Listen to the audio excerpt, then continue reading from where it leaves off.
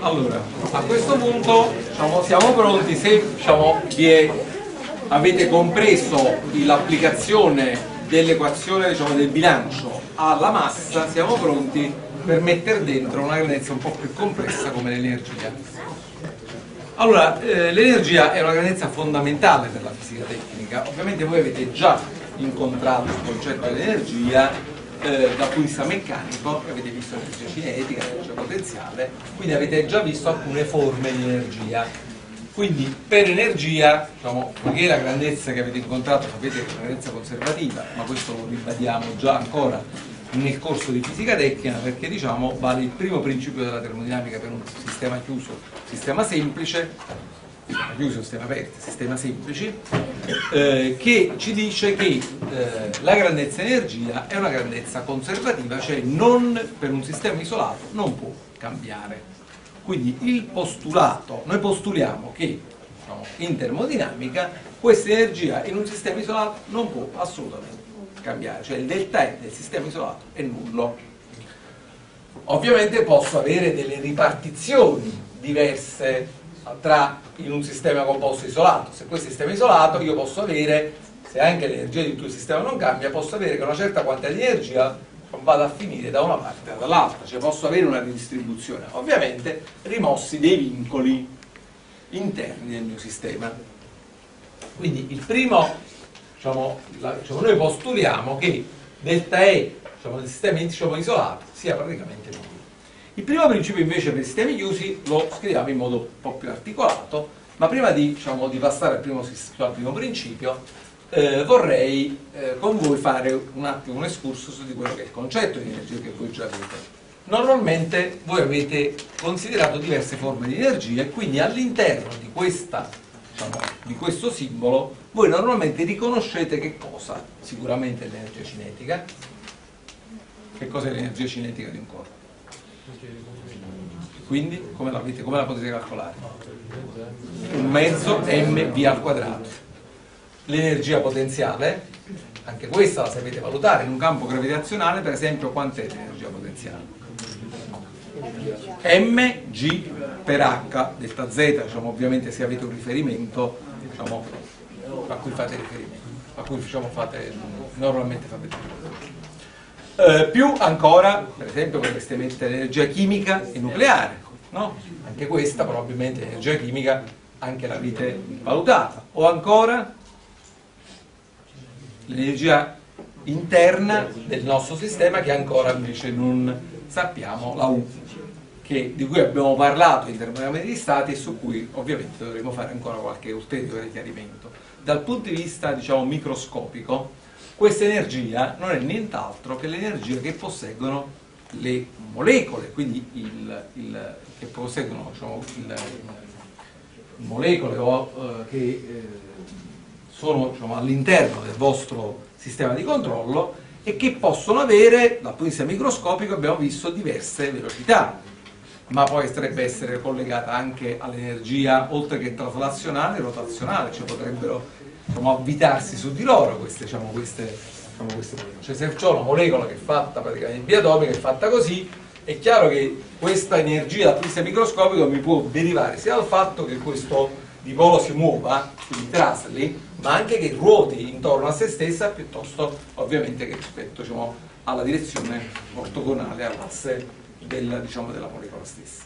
Quindi questa energia diciamo, che voi avete già iniziato a vedere nell'intermediazione degli stati deriva sia da un'energia che voi potete misurare in qualche modo in modo macroscopico attraverso la temperatura del sistema, perché diciamo, nei gas abbiamo visto che questa energia cinetica la posso diciamo, tranquillamente, diciamo, la variazione di questa energia cinetica la posso associare alla variazione di temperatura attraverso il calore specifico, giusto?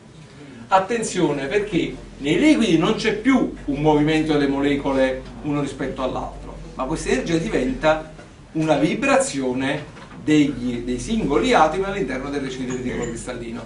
Quindi questa energia interna è rappresentata da quanto le molecole ovviamente si muovono all'interno rispetto alla, alla, loro posizione di equilibrio nel, nel reticolo cristallino di cui diciamo, diciamo che stiamo considerando. E non solo questo, abbiamo visto anche un'altra cosa dal punto di vista microscopico quale? Abbiamo visto che a volte ci sono delle variazioni di energia senza variazioni di temperatura. Quando? Nei passaggi di fase. Cioè questa energia interna, oltre a poter essere diciamo, energia sensibile, diciamo, potrebbe anche essere associata a una variazione, a un passaggio di, diciamo, di fase che consiste nella rottura di legami intermolecolari, per cui quando il liquido evapora, evidentemente ogni molecola è libera di muoversi rispetto alla diciamo, molecola d'acqua rispetto all'altra molecola d'acqua. Quindi rompete questi legami o da solido al, diciamo, al, liquido o da solido a aeriforme o da solido o da liquido a aeriforme c'è una diciamo, differenza in questi legami diciamo, tra molecole e molecole. Questa energia che dovete dare sta proprio dentro. Quindi dal punto di vista microscopico penso che vi sia chiaro adesso. Quindi da un lato l'energia la lasciamo sensibile, dall'altro l'abbiamo chiamato calore latente, cioè energia latente che ovviamente viene in qualche modo assorbito, ceduto e funziona ovviamente se sto passando da liquido a rifugio, ma da riforma da riforma. Cioè se il passaggio di fase avviene in un verso o nell'altro verso. Ora questa, diciamo, ovviamente quello che a noi interesserà non è tanto in generale quantificare l'energia, ma quantificare le variazioni di energia. E molto spesso, poiché diciamo, l'energia cinetica, potenziale, chimica, eccetera, sono nulle le variazioni, la mia variazione sono costanti le con C, se è costante le con P, se è costante l'energia eh, diciamo, chimica e nucleare, evidentemente che cosa posso fare? Che del, diciamo, avrò che delta E sarà uguale a delta U. Chiaro? Quindi nel caso in cui sono costanti queste diciamo, quantità, ovviamente la variazione di delta E coincide con la variazione di delta U. Quindi in un sistema isolato che sta fermo nello spazio, che non ha reazioni nucleari, che diciamo, ovviamente non ha variazione di quota, l'unica variazione diciamo, di energia che posso andare a considerare sarà delta U e quindi delta U in questo caso sarà uguale a 0 se il mio sistema è isolato. Quindi posso riscrivere questa relazione nel caso in cui non ho variazione di energia cinetica, potenziale o altra forma di energia, con delta U del sistema isolato uguale a 0. Ricordiamoci ancora un'altra cosa che abbiamo detto. Ricordiamoci che l'energia gode, è una grandezza estensiva, quindi gode della proprietà additiva. Quindi io posso ricavare delta U a partire dei delta U dei singoli componenti quindi poiché U è uguale a U con A più U con B più U con C e così via quindi tanti sottosistemi A, B, C e così via ovviamente se questo delta U è uguale a delta U con A più delta U B più delta C delta U grande sarà cosa, cosa sarà uguale? sarà la differenza U con A più la differenza di U con B più la differenza di U con C ovviamente per l'additività della grandezza, cioè poiché la grandezza estensiva, ogni grandezza estensiva, ogni grandezza estensiva vale la proprietà additiva. Chiaro? E quindi questo lo potrò sempre scrivere. Quindi è evidente, facciamo un caso molto semplice di un sistema isolato, ho due sistemi, due sottosistemi soltanto, A e B. Quindi questo è un sistema isolato, questo è A e questo è B, questo si riscrive in questo modo, se da questo sistema se ne vanno, quindi levo il setto di abbaticità, qua tenevo che cosa? 100 gradi, qua ne tengo 0 e ovviamente cosa ho nel momento in cui levo il setto di abbatico? Ho un rimescolamento di energia, quindi che cosa succede? Che questa, questo sottosistema cede energia all'altro sottosistema. Delta U del sistema isolato che come sarà? Come sarà uguale ragazzi? È nullo, quindi delta U con A sarà uguale a delta con B, quindi se ho 10 joule che se ne vanno da qua, qua quanti ne avrò? Meno 10. Quindi attenzione a, a perdere il segno, perché se vi dite 10-10 fate 20 e non vi trovate più nel bilancio. Va bene? Quindi i segni non è che sono optional nei bilanci.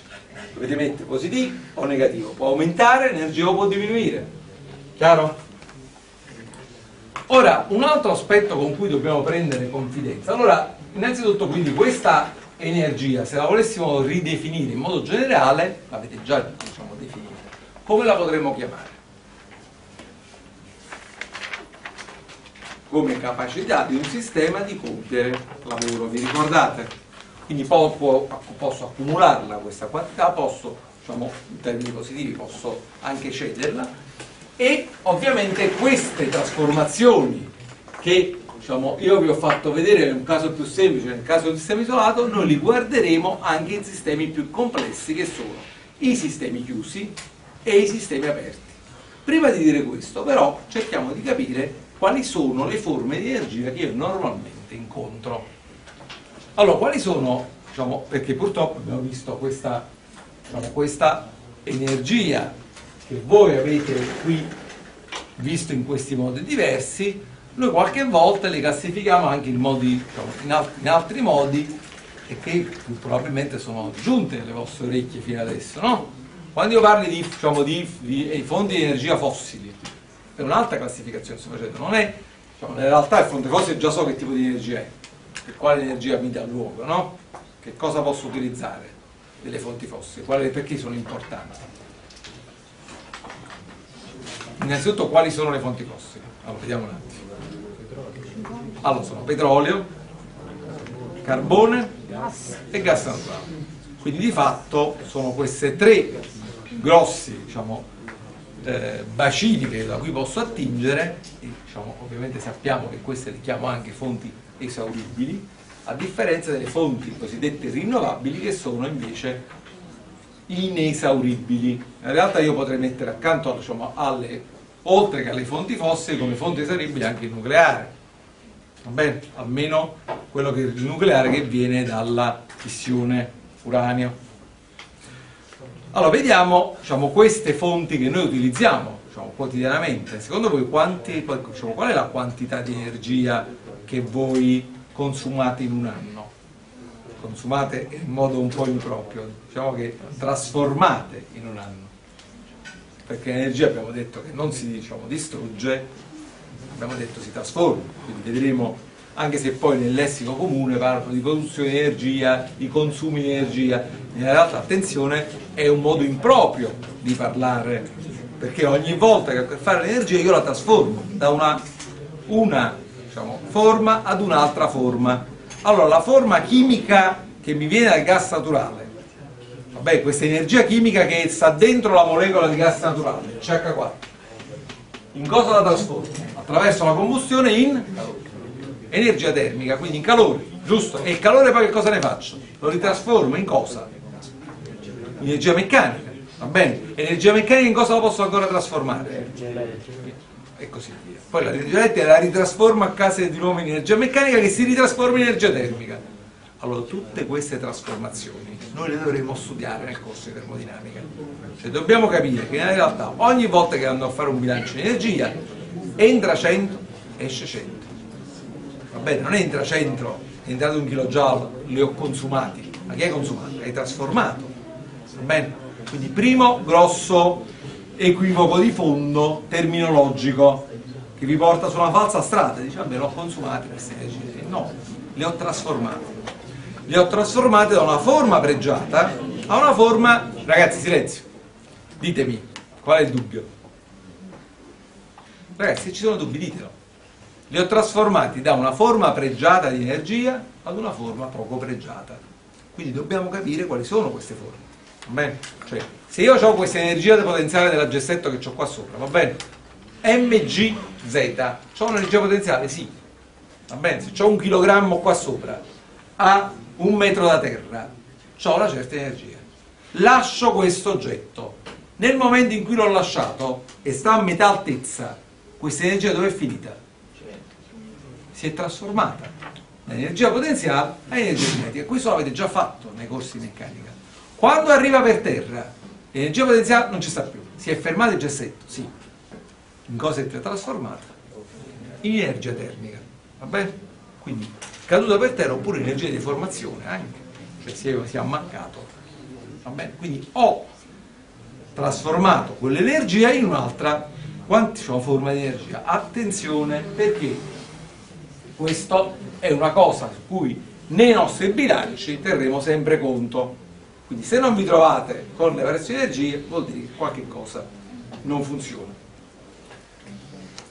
Ehm, Secondo aspetto, quindi abbiamo detto eh, quantità diciamo, di fonti fossili, allora giusto per avere, cominciare a prendere confidenza, poi lo rivedrete anche in altri corsi, corsi avanzati, quando andrete a fare fonti rinnovabili e impianti termotecnici, studierete come lavorare le rinnovabili. Va bene? Adesso cosa sapete fare? Sapete soltanto che metano lo potete bruciare, sapete qual è il potere calorifico, quindi prendete quantità di metano, vabbè, ho un chilogrammo di metano, un metro cubo di metano ancora meglio, perché il calorifico normalmente sono kilojoule a normal metri cubi, moltiplicate la massa del metano che, diciamo, che state diciamo, utilizzando per il potere calorifico e avete diciamo, cosa, la quantità di energia che potete teoricamente utilizzare, giusto? Quindi potere calorifico, l'avete già fatto chi? Potere calorifico, giusto? Perfetto. Questa quantità pari pari entra dalla caldaia questa energia chimica, esce energia termica, avete riscaldato l'acqua. Quindi ve lo dovete trovare come? Come m punto, come mc, calore specifico per delta t, giusto? Se state facendo una trasformazione. Poi li rifaremo questi bilanci, li scriveremo per bene. Adesso ve li sto dicendo così, in modo molto veloce, ma in realtà avremo, faremo esattamente bilanci di questo tipo. Entra una quantità di energia, ne esce un'altra. Poiché l'energia si conserva, evidentemente dovrò diciamo, andare a considerare queste trasformazioni.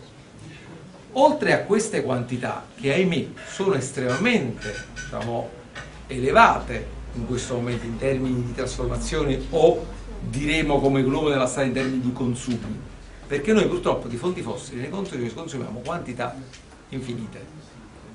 Cioè, infinite proprio no, ma secondo voi, facciamo un numero, in un anno, secondo voi in Italia, quanta energia si consuma? Allora, per farvi capire che diciamo, diventa abbastanza difficile diciamo, misurarle in joule, ma potremmo anche farlo, ma quando tu parli diciamo, di terajoule, diciamo, le cose finiscono un po' come... Allora, facciamo, utilizziamo come unità di, diciamo, di misura il TEP. Sapete cos'è il TEP? Allora, da adesso in poi, poiché siete degli ingegneri elettrici e meccanici, questa quantità vi dovrà essere familiare, perché se vi ah vabbè, un TEP, diceva non so che cos'è il tempo, fate una figuraccia, tonnellata equivalente di petrolio. Queste quantità, diciamo, una tonnellata equivalente di petrolio è un'enormità ragazzi, è una piscinetta, va bene? E sapete ognuno di noi quanto, quante piscinette consuma in un anno? Quanti metri cubi, quante tonnellate equivalenti di petrolio? Una tonnellata equivalente di petrolio. Capite quanto è? Va bene? Quante ne consumate ogni anno? Ne consumate ben tre, circa tre. Noi italiani, eh? perché poi in realtà diciamo, nel mondo c'è chi ne consuma un po' di più e chi ne consuma un po' di meno. Quindi vuol dire che poiché diciamo, fate i calcoli opportuni, questo mediando, cioè già il bambino che sta in fasce, già lui cioè ogni anno si consuma la sua, la sua, i suoi 3, 3 tonnellate di petrolio. Perché? Perché io me lo faccio non è che me lo porto soltanto col carrozzino, me lo porto con la macchina. Quindi uso la macchina, non solo, poi devo riscaldare il latte diciamo, perché diciamo, si deve prendere il latte caldo, lo devo tenere in casa e diciamo, sì, deve, deve stare riscaldato, poi sta alla luce perché se no piange, poi diciamo, la, il bagnetto e pensate che ogni bagno, cioè già quando stanno in fasce, ognuno di noi consuma questa sua piccola piscina di petrolio. Allora perché vi dico questo? Perché diciamo, io sono cresciuto con le fonti fossili, voi invece probabilmente vivrete un'era di transizione, cioè voi partirete con le fonti fossili quando uscite dal corso di laurea e arriverete a fine carriera che lavorerete tutto solo con le rinnovabili. Quindi siete costretti a parlare del, diciamo, del petrolio tra poco chiamo lui a rispondere alla lavagna, come si piace una volta. Eh, sia, diciamo, quindi, con, diciamo, sia con le fonti fossili sia con le rinnovabili. Bene? Allora, quindi se voi prendete, quanti milioni siamo? Quanti milioni siamo noi? 57. E quindi facciamo 60. Quindi noi mettiamo, in Italia facciamo circa 180 tonnell 180 milioni di tonnellate, cioè, quindi miliardi, no, milioni, pardon, milioni di tonnellate equivalenti di petrolio, 150 milioni di quindi un'enormità. Non so se vi rendete conto quanto ogni anno consumiamo. E se andiamo nel mondo, dove per fortuna, ci sono, per fortuna nostra, ma per sfortuna loro, ci sono paesi non sviluppati come i nostri e quindi consumano molto di meno di noi. A fronte, diciamo, nei, negli Stati Uniti, per esempio, diciamo, in alcuni momenti diciamo, di, non, in cui non c'era questa attenzione all'energia, diciamo, si, diciamo, si, andava a consumare anche circa 8, 9, 10 tonnellate di petrolio a persona. Va bene? Quindi di fatto è chiaro che da un lato avete come Trilussa, no? C'è da un lato chi mangia due polli e che dall'altro lato che non ne mangia nessuno. E quindi avete, avete che nel mondo mediamente ognuno di noi diciamo, fa circa 2 tonnellate equivalenti di petrolio moltiplicate per la popolazione mondiale. Quanti ne siamo? 6, almeno 6 miliardi e mezzo, già mentre l'ho detto ne sono qualcuno qualche centinaia di miliardi. E quindi moltiplicate, fate 6 miliardi per, sono, sono, sono per circa 2, 2 qualcosa, e sono su circa 150, 120, 150 miliardi di tempo ogni anno che noi bruciamo. Bene? Pensate che le riserve diciamo, di, eh, di petrolio, sapete quante sono? 450 miliardi. 50 miliardi. Quindi nella realtà, attenzione, attenzione, no, no pardon, ho sbagliato perché sono 6, sono 15 miliardi. Sbagliato uno dei cazzi perché se mettete 6 miliardi per 2 sono circa eh, 12-15 miliardi di tonnellate di petrolio, però abbiamo con riserve che sono dell'ordine delle centinaia. Va bene? Quindi abbiamo riserve per circa 30-40 anni di petrolio, pochissimo, abbiamo riserve per, diciamo, per circa 100-150 anni di carbone, abbiamo riserve per circa 60-70, adesso un po' di più perché c'è lo shale gas, non so se ne avete sentito parlare, l'ho detto anche nell'ultima lezione, nelle prime lezioni, questo gas che viene rocce, quindi che ha un po' aumentato questi numeri, ma sono numeri piccoli. Se voi mettete in una scatola quanto carbone ho, quanto diciamo, ho di eh, petrolio, quanto ho di gas naturale, questa è l'energia che ogni anno ci dà il Sole e questa è la quantità diciamo, delle riserve che abbiamo a livello. Quindi se avessimo delle scatoline, vedete quanto sono piccole. in realtà qual è il futuro? Rinnovabili. Purtroppo il costo delle rinnovabili è estremamente elevato. Cioè noi siamo costretti, come vi ho detto nelle prime lezioni, a fare degli incentivi per le rinnovabili perché? Perché costano di più. Cioè il fotovoltaico, il kilowattora da kilovoltaico costa di più rispetto al kilowattora da fonti fossili oggi. Ma la parità comincia ad avvicinarsi. Quindi voi sarete come ingegneri energetici, come ingegneri elettrici, come ingegneri meccanici, sarete sempre di più diciamo, degli ingegneri che saranno costretti a guardare molto meno il motore a combustione interna, che tanto vi piace, ahimè, e molto di più diciamo, l'auto ibrida o addirittura l'auto solare. Così. Quindi già oggi la comunità europea dice che signori dovete fare gli edifici NZEB. Che vuol dire NZEB? Ne avete mai sentito parlare? Allora, già, già, questo è, è già nelle PB2, già è nella, è nella normativa direttiva europea. Che cosa vi dice? Vi dice dovete fare gli edifici che non consumano, cioè che non consumano fonti fossili, cioè net zero energy building, cioè vuol dire edifici che hanno consumo sostanzialmente che pari a quello che producono in termini rinnovabili. Quindi mettete il, diciamo, il pannello fotovoltaico, prendete, diciamo, recuperate l'area calda che esce, la recuperate per riscaldare l'aria che entra, perché sennò ovviamente buttate energia nell'ambiente e così via. Cioè dovete fare tutta una serie diciamo, di misure per, cioè, per non buttare quasi nulla. E quello che dovete buttare, perché dovete necessariamente consumare, lo dovete fare in termini rinnovabili.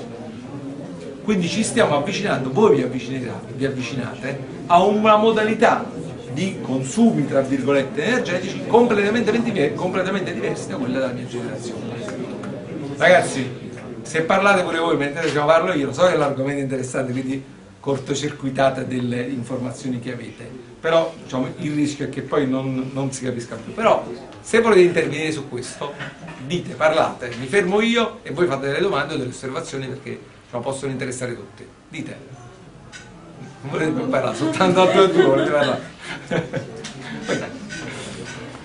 Osservazioni su questa cosa. Secondo voi, voi fra 40 anni diciamo, troverete ancora la macchina che va a petrolio, che va a benzina, magari va con, magari va con le biomasse. Allora, vediamo quali sono le rinnovabili. Allora, quali sono le rinnovabili che conoscete? Allora, abbiamo detto solare. Bravo, eolico. Idro. Poi? Poi, con le biomasse. Bio- eh,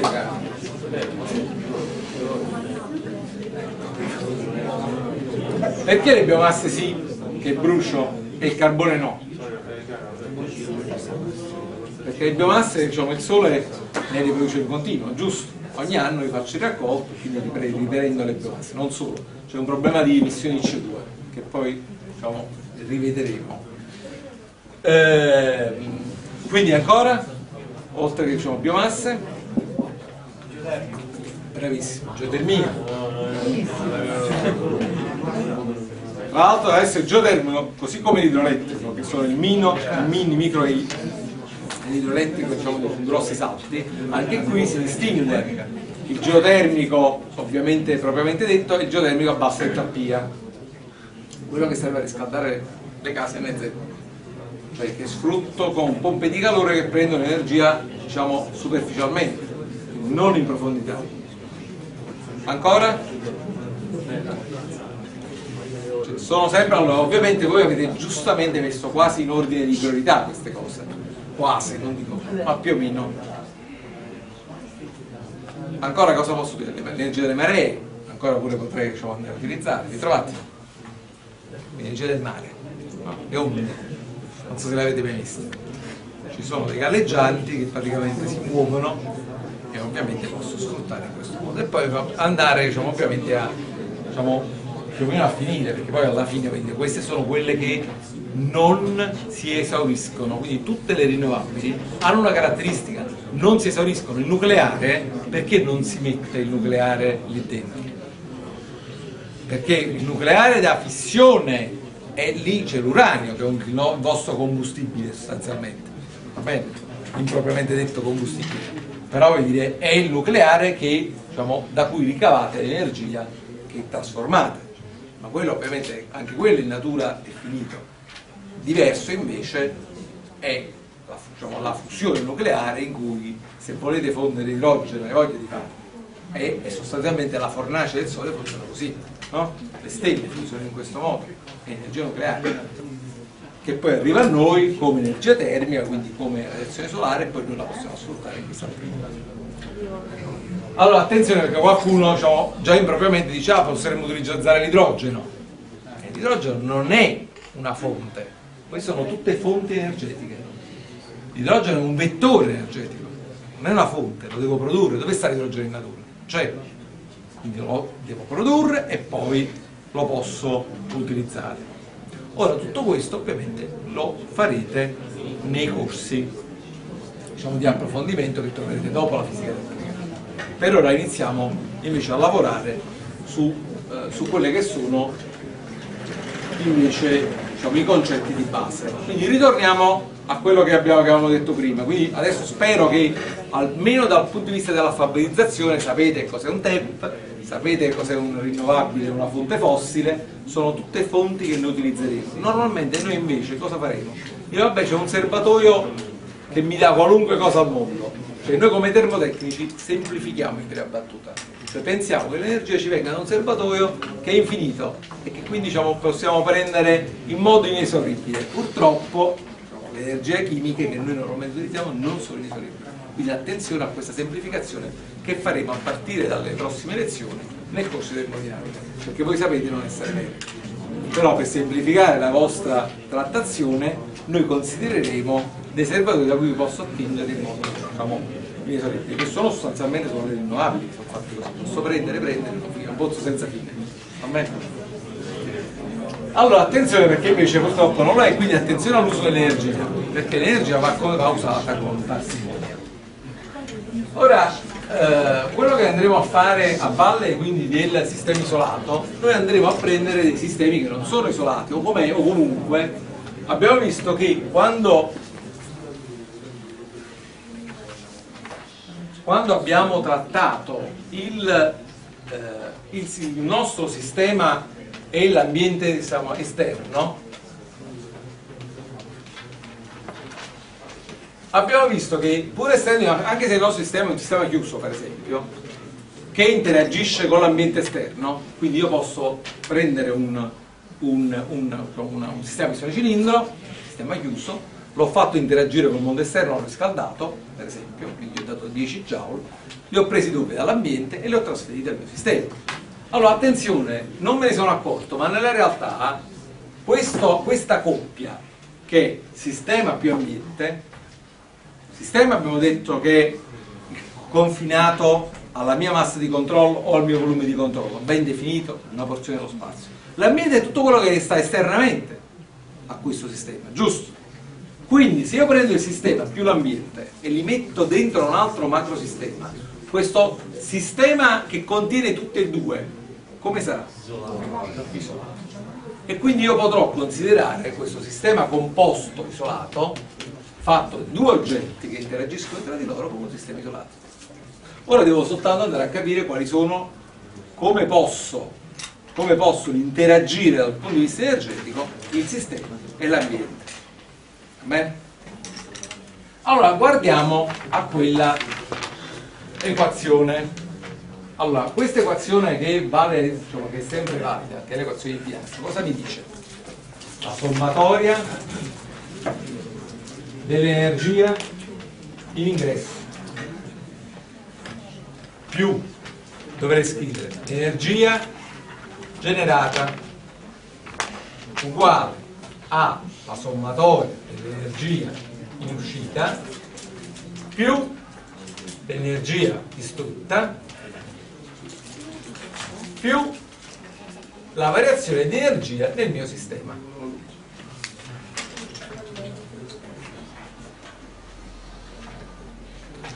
Ora abbiamo detto che l'energia è rigorosamente una grandezza conservativa, quindi è come la massa, quindi questo e questo se ne vanno. Quindi ho la quantità di energia che entra all'interno del mio sistema è uguale alla quantità di energia che se ne esce dal mio sistema più la variazione di energia del nostro sistema. Attenzione perché la, primo, primo, la prima possibile confusione è tra queste quantità, ingresso e uscite, e questa quantità. Questa quantità è una caratteristica del mio sistema, è la E del mio sistema, va bene? Quindi questa rappresenta una proprietà del mio sistema, una coordinata del mio sistema. Queste non sono coordinate del mio sistema, sono le quantità in ingresso e le quantità in uscita. Non sono proprio delle proprietà termodinamiche. Le proprietà termodinamiche e le coordinate termodinamiche di cui stiamo parlando sono queste. Bene, quelle che, stanno, quelle che appartengono al mio sistema.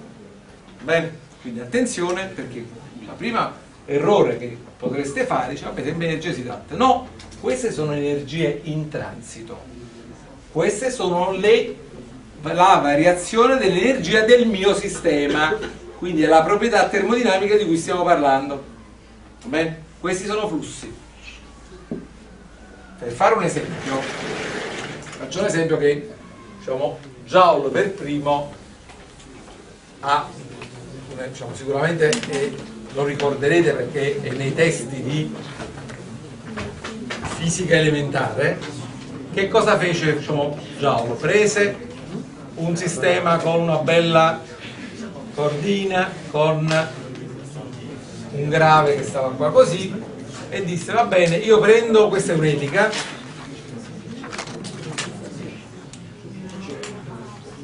prende il mio grave attaccato diciamo, a una puleggina che fa girare una, una, una, una piccola elica all'interno di questo sistema prendo questa corda faccio cadere questo grave, lo metto fino a qua e vado a vedere quanto è variata l'energia di questo sistema, cioè sto dando energia al mio sistema. E andò a vedere quanto era diciamo, questa, questa, diciamo, se questa variazione di energia del sistema esterno, quindi dell'ambiente, che aveva fornito a questo sistema qua, erano uguali. Vabbè? Quindi quantità in transito, quantità in transito è questa qua che sta diciamo, soldando il mio sistema, variazione dell'energia. Quindi io posso fare scrivere un bilancio, se vado a continuare a scrivere questa relazione, andando a dividere le quantità in transito in due quantità diverse. Quali sono secondo voi le due modalità di trasferimento di energia che un sistema semplice PVT può avere con il mondo esterno? Calore. Abbiamo visto l'altra volta. Calore, e lavoro. Quindi io avrò la sommatoria delle Q in ingresso più la sommatoria delle L in ingresso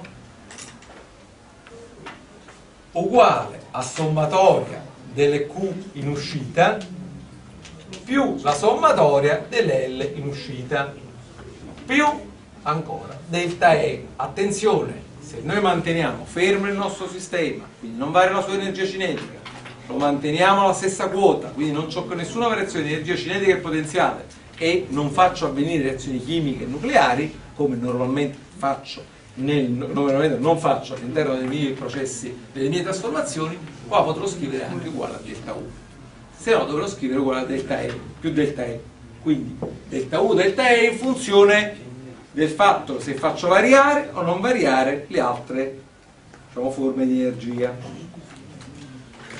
Quindi potrò scrivere ancora, attenzione ancora un'altra cosa, come le prendo tutte le quantità di calore in ingresso? Positive? Sì, se sono in ingresso queste sono intrinsecamente positive. Quindi posso anche mettere un valore assoluto, diciamo qua, giusto? Cioè tutto quello che entra lo metto positivo a sinistra, tutto quello che esce lo metto positivo in uscita a destra. Cioè 10 euro da qua e 10 euro dall'altro lato per l'azione di bilancio. Vi trovate? Quindi sono tutte quantità positive che sto considerando nel mio bilancio, per come le ho definite. Quindi posso metterci pure il valore assoluto. Quindi il delta U è uguale alla, posso scrivere come equazione di bilancio che la sommatoria del calore in ingresso più la sommatoria del lavoro in ingresso sarà uguale alla sommatoria del calore in uscita più la sommatoria del lavoro in uscita più ancora il delta U. Dove ricordiamoci il delta U io non scriverò più nulla a partire da questo momento. Non scriverò delta U del SIST perché quando non scrivo niente vuol dire che è quella del mio sistema. Quindi l'ultima volta che scrivo nelle equazioni di bilancio delta U SIST quando scriverò da adesso in poi delta U vuol dire che è quella del sistema. Beh. Quindi questa è una modalità di scrittura del primo principio per sistemi chiusi, cioè il mio sistema pistone cilindro, che noi abbiamo già visto, in cui normalmente questa quantità che posso fornire in termini di calore, e questa l'ho chiamata Q, la quantità che posso invece fornire in termini di lavoro, andiamola a vedere meglio, vediamo qual è sul sistema chiuso la modalità di eh, flussi di energia in modo lavoro. Allora, secondo voi, questo lavoro che io posso compiere sul sistema, oppure che il sistema può compiere sull'ambiente, quindi può essere ingresso o può essere un'uscita, con andando a comprimere o a decomprimere ovviamente il mio sistema, a quanto sarà uguale? Il lavoro, voi come l'avete diciamo, definito? Uguale, forza per, spostamento. Bene, allora andiamo a vedere quant'è la forza e quant'è lo spostamento. Allora la forza, allora supponiamo che ho messo un pesetto, ho la mia forza diciamo, che agisce sul mio pistone e ciò che ovviamente da questo punto qua il mio diciamo, pistone, sistema pistone cilindro si sto compiendo lavoro sul sistema, si sposta fino a questo punto qui. Allora, quando diciamo, sto spostando questo mio sistema, attenzione perché la forza, diciamo, se la trasformazione avviene lentamente, la forza cosa sarà uguale? Cioè metto prima un pesetto, poi un altro pesetto, poi un altro pesetto, aspetto sempre con stati di equilibrio uno successivo all'altro, la forza in condizioni di equilibrio a cosa sarà uguale? In condizioni di equilibrio cosa vuol dire? Che forza uguale? Ui. Cosa uguale? In condizioni di equilibrio, perché questo non collassa e se ne va qua su? Cioè l'equilibrio delle forze. Qual è la forza che, diciamo, che contrasta il peso di questo oggetto che sta qua su? Come? La pressione? La pressione non è una forza. La pressione che il fluido esercita qua sotto per l'area, bravissimo, ti dà la forza diciamo, che contrasta la forza peso. Giusto? Perché sennò questo si muoverebbe. Se la pressione qua dentro fosse più piccola, collasserebbe più in giù. Mi trovate? Quindi questo è uguale a P per A per lo spostamento, chiamiamolo delta S un po' più congruo, più questo spostamento delta S piccolino elementare che ho fatto. Va bene? Perché se non fosse tanto piccolo, abbiamo detto che in condizioni di quasi equilibrio, giusto? Questo, questo pesetto che ci ho messo deve essere molto molto piccolo in modo da poter considerare pressioni più o meno costanti. Quindi attenzione che in questa trasformazione io ho P per A per delta S uguale a P per delta V. Bene? Perché A per delta S è la variazione del volume del mio sistema. Quindi questa cosa è uguale. Sempre se stiamo considerando diciamo, la trasformazione quasi statica, sempre se sto considerando molto, diciamo, questo lavoro molto molto piccolo, no? È un lavoro quasi elementare che sto facendo ma in, in una condizione estremamente eh, diciamo, ridotta in termini di spazio. Quindi posso ancora scrivere diciamo, questa relazione, come quindi il lavoro come P delta B, eh, la posso anche vedere come M P per delta V piccolo, dove delta V piccolo, lo ma sappiamo bene, è il volume specifico del mio sistema. Attenzione, questa, diciamo, questa relazione vedremo che è vero, diciamo, questo lavoro si chiama lavoro di variazione di volume, non a caso, no? Perché ho fatto variare il volume, quindi il lavoro che io faccio sul sistema pistone cilindro non è nient'altro che lavoro di variazione di volume. Questo lavoro è vero che è uguale a questa relazione soltanto quando la trasformazione è reversibile perché altrimenti devo fare qualche altra cosa va bene? quindi che cosa posso vedere? quindi l'ho fatta quasi staticamente in modo che la facendo succedere uno stato di equilibrio all'altro mettendo un pesetto dopo l'altro ma c'è ancora un'altra cosa che sto considerando che devo dover considerare cosa? quando è che questa forza è uguale semplicemente alla forza mentre si muove alla forza diciamo del cioè io spingo e la forza che metto per spingere è esattamente qual è la forza diciamo, di contrasto del... Se la massa del pistone è nulla. No, fosse nulla, diciamo, se ne andrebbe fuso così. Quando è che questa forza è uguale alla forza che sta sotto? Secondo voi qua non c'è nessun fenomeno, diciamo sulle pareti, attriti. Allora, come vedete, diciamo, quando io non ho nessun attrito, quindi cosa vuol dire questo? Quando io posso spingere qua sopra e questa trasformazione, questo proprio peso può andare giù, poi risale sopra, può andare giù e poi risale sopra. Ci spingo sopra questo fa l'altalena, lo fai al modo infinito, cioè irreversibile. Vuol dire che va su e va giù, giusto? Senza mai fermarsi. E allora com'è? Come vuol dire? Che la trasformazione la posso definire irreversibile, ma solo in quel caso ho questa approssimazione che noi abbiamo fatto negli altri casi no. Devo andare a considerare anche evidentemente le forze di attrito che ci sono lateralmente, eventuali dissipazioni che possono esserci all'interno e così via. Per ora, prima di considerare questo discorso dell'irreversibilità dei fenomeni che noi ancora non abbiamo, facciamo in prima battuta, possiamo riconsiderare questo lavoro come più o meno questo uguale a P per delta è molto semplice da calcolare. In generale sappiamo che non è così, quindi in questo lavoro purtroppo io devo dare normalmente sempre un po' di più per poter far muovere e per comprimere questo, questo fluido, se lo voglio dare. Oppure quando lo prendo, prendo il lavoro dall'ambiente, quindi espando, quindi è il sistema che compie il lavoro sull'ambiente, quindi vuol dire che si sta espandendo questo sistema, che cosa avrò? Avrò che il lavoro di, diciamo, di in uscita è sempre più piccolo rispetto a quello che potrei avere in modo reversibile. Perché? Perché una parte di energia dove rimane?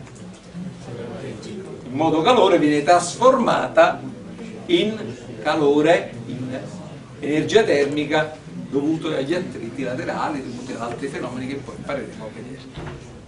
Quindi attenzione, questo, diciamo, questo lavoro, inizio a scrivere questa formula, ma già vi dico, questo è il lavoro reversibile di compressione e di espansione.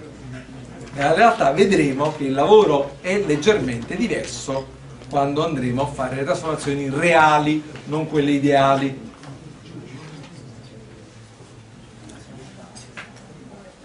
Analogamente, quindi, allora, queste, diciamo, quindi queste L con I e queste L con E, devo, in un sistema chiuso saranno ovviamente in uscita e in ingresso potranno essere lavori di variazione di volume. Non ho altri modi di compiere lavori in modo reversibile, ragazzi. Questa cosa qua non è un lavoro che reversibilmente io scambio. Vi trovate? Questo com'è? Diciamo, cioè posso dire, senti per cortesia adesso riavvolgiti e ritorna dietro per cui questo è un lavoro irreversibile che viene quindi attenzione, questo lavoro d'elica che sto dando qua sopra in un sistema chiuso è solo irreversibile.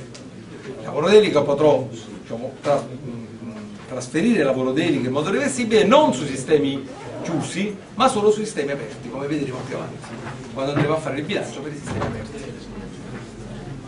Allora, detto questo concludo perché state, diciamo, abbiamo accumulato un bel po' di eh, di nozioni, volevo soltanto dire qualche cosa su una, su una, che se volete è una banalità, ma su cui invece voi normalmente sbagliate.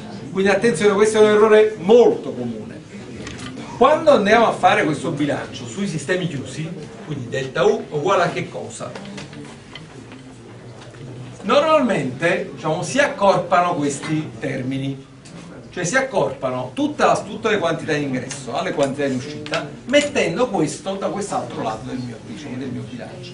Cioè dico chiamo Q tutte le quantità in ingresso meno la sommatoria di tutte le quantità in uscita. Lo posso fare? certo. Come lo chiamo questo calore? questo è il calore in ingresso. Questo è il calore in uscita questo è il calore netto si dice scambiato. Quindi ovviamente che qual è diciamo, ovviamente mentre questi qua erano intrinsecamente positivi quindi tant'è per io vi ho detto ragazzi se fare vedere che sono positivi io ho messo il valore assoluto ma non c'era bisogno per come l'abbiamo definito. Sono positivi a destra e positivi a sinistra. Quindi o lo mettevo non lo mettevo segno diciamo di, diciamo, di valore assoluto e per come abbiamo definito il calore d'ingresso l'ho definito come quantità positiva così come il calore d'uscita qui no perché se è la sommatoria di ciò che entra meno quello che esce. Io posso, cioè può entrare 100 e può uscire 150 e quindi il calore netto in questo caso quanto è uguale? se sono entrati 100 joule e sono usciti 150 joule sono meno 50 joule quindi attenzione, primo diciamo, aspetto importante. Quando utilizzo la convenzione del segno si chiama questa io normalmente posso avere un calore netto positivo o negativo in transito come sommatorio di tutto quello che entra meno la sommatoria di tutto quello che esce va bene?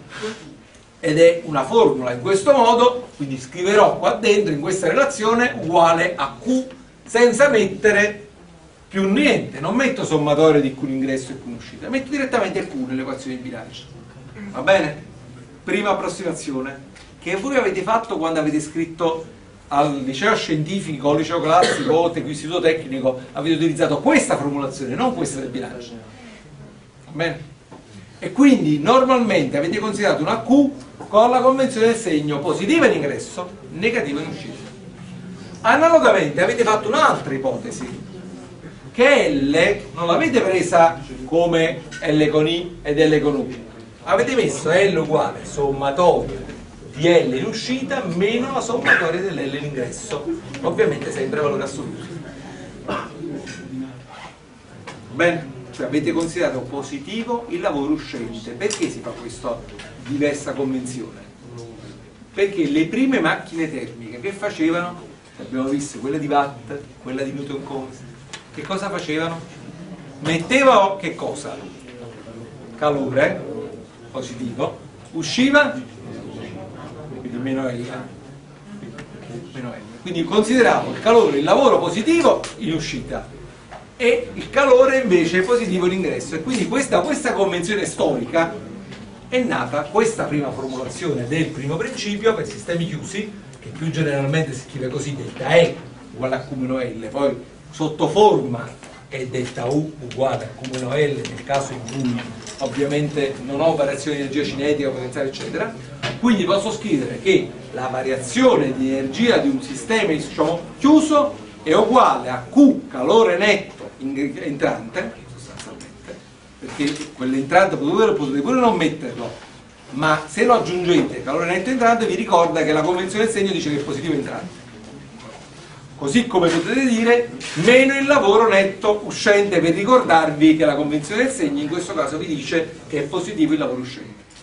Però già la posizione netta vuol dire che è tutto quello che esce meno tutto quello che entra. In questo caso tutto quello che entra meno tutto quello che esce.